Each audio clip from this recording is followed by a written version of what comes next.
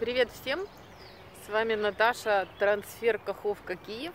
И следующая часть моего повествования.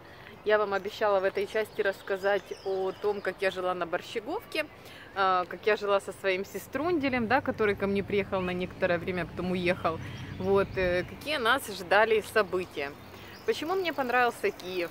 Почему было классно и клево, да, несмотря на то, что мы жили, я рассказывала где, да, в кухне, э, жили в кухне с подружкой, во второй комнате хозяйка, в той же комнате сестра на кровати, ну, в общем, не совсем, не совсем те условия, да, в которых хотелось бы жить, тем не менее, мне все нравилось, тем не менее, это было круто. Почему? Ну, во-первых, потому что молодость, во-вторых, потому что Киев – ну и в-третьих, потому что очень-очень-очень много происходило событий таких, которые со мной не происходили до этого момента в моей жизни в Каховке.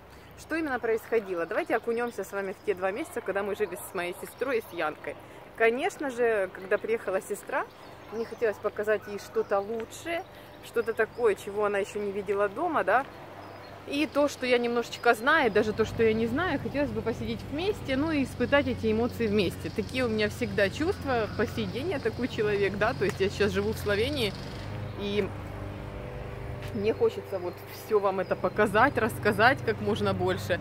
И мало того, хочется, чтобы вы все сюда приехали. То есть я очень сильно желаю, чтобы наша страна по не по культуре, не по, по внешнему виду, да, по зелени, по тому, как здесь чисто, по тому, какая здесь чистая вода, какие здесь вкусные продукты. Вот я хочу, чтобы наша страна э, была такой же, чтобы наши люди все это тоже видели, пробовали. И, ну, я думаю, что мы все этого достойны, потому что люди у нас хорошие. Единственное, что осталось страну, стране помочь быть такой же. То есть Наверное, без властей придется это делать. Вот. Ну и, значит, давайте окунемся с вами в этих два месяца. А, в те моменты, значит, эти были года, а, когда на Борщеговке работали диско-клубы, ночные клубы, Ватра, Интонация. Я даже не знаю, они сейчас работают или нет, я знаю, что они были тогда. И, конечно же, я в них не была никогда, потому что э, я не жила в Киеве ранее, да, но так как я туда, как я, как я туда поселилась, вот, нужно было все это посмотреть и посетить. И все это мы делали с моей сестрой. Помню, значит, клуб «Интонация», как мы там зажигали, да. А, был у меня в тот момент ухажер, он тоже нарядился с нами идти на дискотеку, а, только он одел, значит, рубашку, брюки, туфли блестящие, такие лакированные какие-то, я не знаю, с какого года. Я сказала, так, все. Девочки мне пошептали, сказали, Наташ, ну не надо, чтобы он с нами шел. Юля моя вообще сказала, он не модный, пусть он с нами не идет. да? А это... И, короче, ну, это просто вообще капец. Я говорю этому человеку, в общем, все, Сереж, ты нас жди здесь, ты с нами не идешь, мы быстро сейчас девочки идут гулять, я сейчас с ними вот буквально на полчасика и приду к тебе. Хорошо? Он говорит, хорошо, вообще не парься, иди отдыхай, типа я вас здесь подожду. Вот, на этом мы остановились. И, короче, он пошел. Он пошел, он сидел в машине, ждал нас, чтобы вы понимали, наше такси бесплатное. Мы пошли гудеть. Гудеть это там всякие коктейли пить, бухать, да, там пиво, что там еще. Ну, вообще не знаю, я всю жизнь любила пиво, ранее пила. Никаких коктейлей, шотов, такое ничего не воспринимала, было невкусно. А, просто мне становилось очень плохо от всего этого. От пива вообще не пьянеешь, весело. Ну, то есть это, ну, главное, что бегаешь, конечно, много раз в туалет, но э, как бы самое главное, что неплохо, да. В общем, интонацию помню. Потом помню, еще мы были в таких местах, как ага, Калибрис. Но это был рынок. Мне так всегда было интересно, когда я приехала в Киев, мне всегда было интересно, что же такое Калибрис. Вот это название такое интересное. Потом оказалось просто-напросто, что это рынок. Потом, значит, мы вот на Калиписе там были. Потом были мы на ипподроме. А, знаете, что еще вспомнила? Мы были в очень классном таком месте. В общем, у меня был вот этот Сережа ухажер. А, так как я ходила на дележки товаров, я тогда работала круглосуточно вообще практически, да, без выходных, еще по ночам там, чтобы больше мне платили, делила товар на какие-то кучки. И тогда у меня появился еще один жених, ну, как я не знала, что это мой жених, он там просто, ну, как, знака внимания не уделял, но носил мне там, хочешь булочку, хочешь что, хочешь это, ну, как бы дружил со мной. Всегда ко мне заходил, говорил добрый день, ТТТ, как у него прошел день, все это отчитался, пошел. Но потом оказалось, говорит, Натаха, ты что, не поняла? Это же Юра ухаживает за тобой. Я говорю, серьезно? Ну, я не поняла. Ну, ладно. Ну, в общем, а, вот такой вот у меня еще был ухажер Юра. Вот. И, значит, мы с этим Юрой и с моей Юлей а, пошли. Яну мы не взяли с собой, потому что ну, у Яны же был жених Антон, вы помните, да, по прошлым, э, по прошлым сериям. Мы с Юрой пошли тогда на ВДНХ, на живой концерт, на живой рок-концерт. Там были и Земфира, и Сплин, и еще какие-то группы, я уже не вспомню, но было до такой степени круто.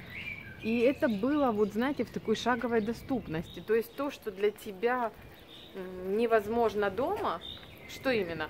Да вот такой рок-концерт невозможен. Ну, приезжают там какие-то рок, непонятно кто.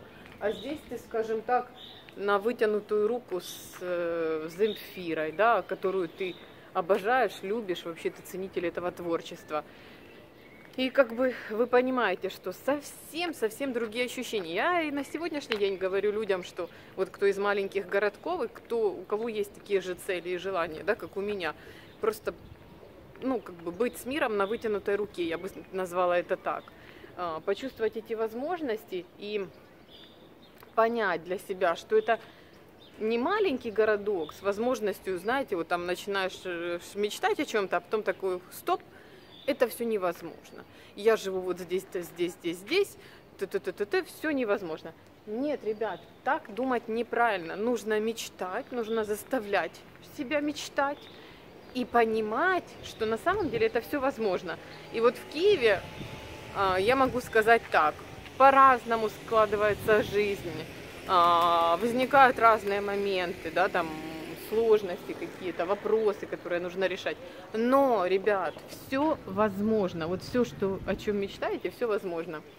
А, также э, в тот момент я познакомилась с девчонками, дружу с ними по сей день. Конечно, не так, но, знаете, вот сейчас уже мы перешли из разряда там знаешь друг друга сто лет, можешь не общаться годами, потом, знаете, встретились, рассказали всю подноготную, всю жизнь. Ну, что секретов нету таких. И ты знаешь, что этот человек тебя поймет, и он знает, что у тебя в голове. Это, конечно же, мои любимые две девочки, Галя и Валя. Это близнецы, ну или двойняшки. Вот. И с ними мы тоже были на концерте Земфиры те моменты, когда тогда я была, когда я торговала на этом рынке, я начала экспериментировать с внешностью, имею в виду прическу. Сейчас у меня длинные волосы, да, там заколола гульку, там вы видели в прошлых сериях. А на тот момент мне мама никогда не разрешала, мне мама никогда не разрешала отращ, э, вернее, стричь волосы. Я приехала в Киев и подстригла волосы под нулевку. То есть у меня все тут было на лысо выстрижено. Тут оставался какой-то холок небольшой, 2 сантиметра. Все. Это была моя прическа. И красилась я в белый цвет. В черный цвет я тоже пробовала, но это было ужасно. Поэтому покрасилась назад в белый. В тот момент, когда, когда я с девочками ходила на Земфиру, я решила еще дальше изменить свою внешность и попробовала тоник. Какой это цвет был, я уже не вспомню. Баклажан. Скорее всего, баклажан, но какой-то темный. Но так как я покрасилась э, белой краской с каким-то зеленым оттенком или что-то было не так, В общем, у меня была фиолетовая голова. Конечно, это лучше снимать видео, потому что так не совсем понятно. Но поверьте мне, это было прекрасно. И я, значит, пришла на концерт Земфиры в шапке. Но настолько было все круто. Я смотрела на эту Земфирку, перелезла через какой-то э, забор в вип-зону в эту. Знаете, там, где не сидящие места, там, где танцуют прямо возле сцены люди. Настолько все было круто, что ну, мне было на самом деле пофиг, какого цвета у меня волосы. Я была счастлива. А, это как раз мне было в то время 20, 21 год, 22, да. Это, было, это были классные годы. А, следующую, следующую часть я расскажу вам вот буквально на днях. И посвящу я эту часть посвящу я эту часть знакомству с Толиком, потому что как раз тогда я и познакомилась с Анатолием. Ну и расскажу вам, что произошло потом после нашего знакомства. Все, всем пока, хорошего настроения, хорошего дня. С вами была Наташа, трансфер Каховка Киев. Пока-пока.